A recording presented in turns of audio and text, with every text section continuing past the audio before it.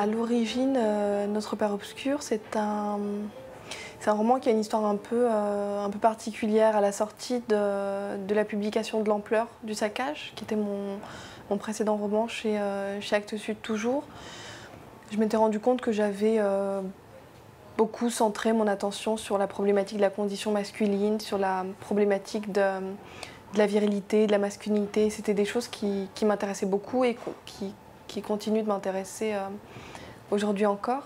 Et, et un jour, je suis sortie dans la rue et, et pas très loin, euh, place, euh, place Vendôme, il y avait une manifestation et, et c'était assez étrange. Il y avait beaucoup de femmes et en fait, je me suis rendu compte en, me rapprochant qu'il y avait quasiment exclusivement euh, des femmes.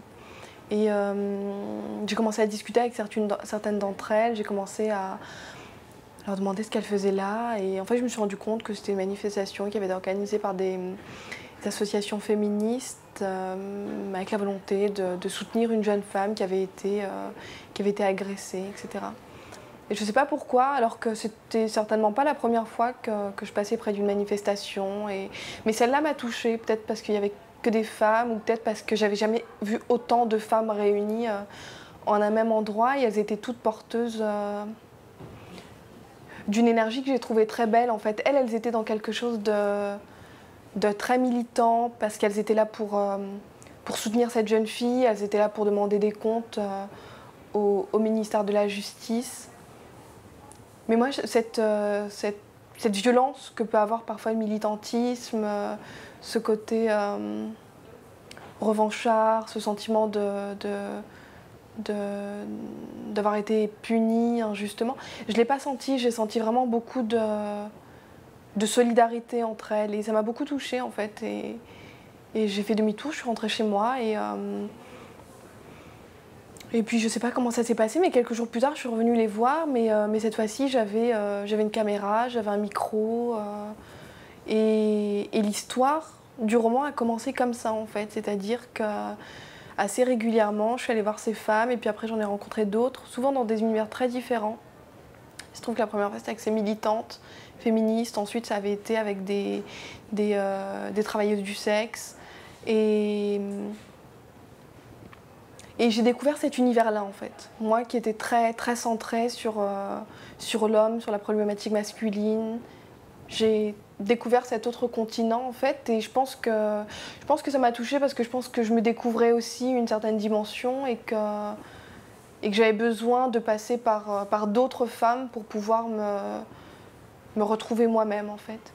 Et à l'origine, notre, euh, notre Père Obscur, en fait, est, est un roman qui, euh, qui raconte l'histoire d'une jeune fille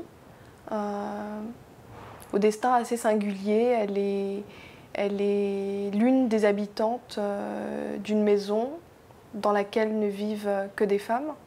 Et ces femmes ont toutes été placées là euh, par des hommes, que ce soit le père, le frère, euh, l'époux.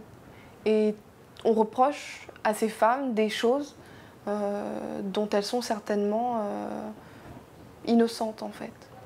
Et ce qui m'intéressait, c'était effectivement de placer une jeune fille, un personnage, euh, dans, cette situation-là et de le suivre pendant une grande partie de sa vie, en essayant de voir comment cette euh, jeune fille allait répondre à, l'appel de son destin. Et ce destin, c'est de, de devenir une femme, en fait, de devenir un leader, de devenir un, un, être charismatique qui était... euh, capable à la fois de se libérer lui-même de ses, de ses anciennes prisons et qui serait capable avec lui d'entraîner toutes les femmes qui seraient désireuses elles aussi de, s'affranchir de ce qui jusque-là les, euh, les limitait, les condamnait à un certain vécu, à une certaine, euh, à une certaine histoire.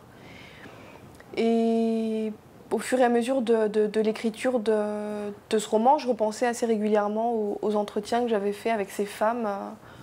euh, qui, qui avait accepté de se prêter au jeu de, l'entretien. Et je me souviens de l'une d'elles qui avait évoqué la, la, problématique euh, de, de la religion, en fait. C'est quelque chose sur lequel elle revenait assez régulièrement.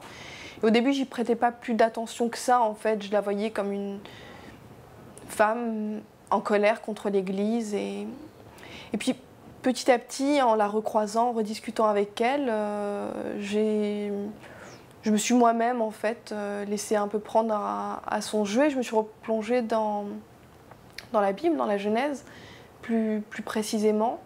Et, c'est là où du coup je me suis dit qu'il serait possible de faire peut-être quelque chose d'intéressant entre euh, mon propre texte, qui est inscrit du côté du, profane, et le texte de la Genèse, qui lui est un texte euh, sacré avec tout ce qu'il qu'il charrie de d'interdits, de, tabous, mais aussi de, de lois éternelles, intemporelles et, de, et donc de fascination euh, pour un auteur. Et je me suis rendu compte effectivement qu'un certain nombre de, de, de textes, d'extraits, de citations du texte de la Genèse évoquaient le féminin, la féminité, euh, le corps de la femme, euh, la maternité, le corps de la mère. Et très rapidement, j'ai souhaité effectivement euh, mettre en place une sorte de, de, lien ou de liant entre, entre ces deux textes-là en extrayant des, citations du texte de la Genèse et en les insérant dans mon propre texte en fait. Et c'est vrai qu'au fur et à mesure, euh, c'est construit euh, de manière quasi autonome le destin de cette jeune fille qui est appelée à, se libérer et à devenir euh, une femme, et euh, ces citations qui étaient, euh, qui étaient le défi qu'elle devait relever, qui étaient l'épreuve qu'elle devait surmonter. Et, j'ai trouvé ça intéressant. Ça m'a, beaucoup parlé, et puis ça me permettait aussi d'évoquer la problématique des, des lois religieuses c'est-à-dire des lois que l'on hérite, que l'on reproduit sans se demander si ces lois peuvent véritablement être euh, les nôtres.